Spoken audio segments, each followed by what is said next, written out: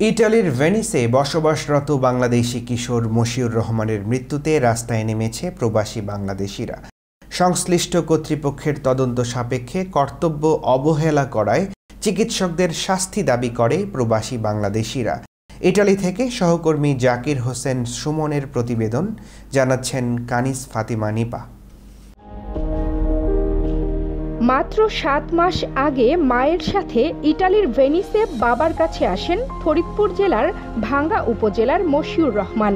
ইটালিতে আসার পর করোনা ভাইরাসের টিকা গ্রহণ করেন গত মাসের দশ তারিখে। টিকা গ্রহণের পর জ্বর ও ব্যথা শুরু হলে মশিউর রহমানের বাবা মোহাম্মদ এনামুল হক ভেনিসের অ্যাঞ্জেলো হাসপাতালে নিয়ে যান। সেখানে কিছু পরীক্ষা শেষে বাসায় নিয়ে যায় মশিউর রহমানকে। সাতাশ তারিখে রাত্রে, সে গুরুতর অসুস্থ হয়ে যায়। অসুস্থ হওয়ার পর এক সময় সে হঠাৎ করে তার মানে হার্ট ব্লক হয়ে যায় অপারেশন করা লাগে। তখন তাদের অপারেশন থিয়েটারে নিয়ে যায়। নিয়ে যাওয়ার পরে অপারেশন করার পরে তিন দিন আইসিউতে ছিলাম। আইসিউতে থাকার পরে আর তার কোনো উন্নতি আসেনি এরপর বাইশে আগস্ট মশিউর রহমানের অবস্থার অবনতি হলে অ্যাম্বুলেন্সে করে অ্যাঞ্জেলো হাসপাতালে নেওয়া হলে চিকিৎসকরা গুরুত্ব না দিয়ে দেরি করে ভর্তি নেন বলে অভিযোগ করেন মশিউরের পিতা। হাসপাতালে ভর্তির পর কর্তব্যরত ডাক্তার জানান মশিউরের মাথায় রক্ত জমাট বেঁধেছে। এরপর তাকে অপারেশন করানো হয়। অপারেশনের কয়েকদিন পর মশিউর রহমান মৃত্যুর কোলে ঢলে পড়েন। ওর চিকিৎসা সঠিক চিকিৎসা হয়নি।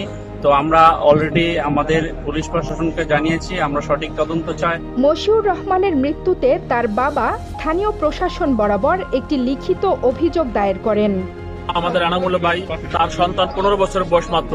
উনি করোনা করোনা টিকা দেওয়ার পরে উনি দুই দিন পর অসুস্থ হয়ে যায়। দুই সপ্তাহের মাথায় সে মৃত্যুবরণ করে। সেখানে আমরা যতটুকু জানতে পেরেছি, ডাক্তারদের অবহেলা ছিল।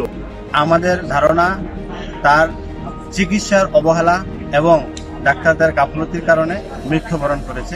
এই জন্য আমরা মাঠে নেমেছি, মানববন্ধন করেছি, যাতে ভবিষ্যতে আমাদের আর এই অবহেলার শিকার না হতে হয়। মশিউর রহমানের মৃত্যুকে কেন্দ্র করে ভেনিসে বসবাসরত বাংলাদেশিদের মাঝে ক্ষোভের সৃষ্টি হয়। তারা রবিবার সকাল নয়টায় মেস্ট্রের ট্রেন স্টেশনের সামনে হতে মৌন মিছিল বের করে কয়েন চত্বরে গিয়ে মিছিলটি শেষ হয়। ভেনিসের প্রায় পাঁচ শতাধিক বাংলাদেশি এতে অংশগ্রহণ করেন। মৌন মিছিলে অংশগ্রহণকারীরা জানান, অনতি বিলম্বে মশিউরের মৃত্যুর কারণ উদ্ঘাটন করে দোষী ডাক্তারের বিরুদ্ধে ব্যবস্থা গ্রহণ সহ স্যানিটারিয়া সমস্যা সমাধানের দাবি জানান। Kanis Fatema, Nipa, Bangla channel news desk.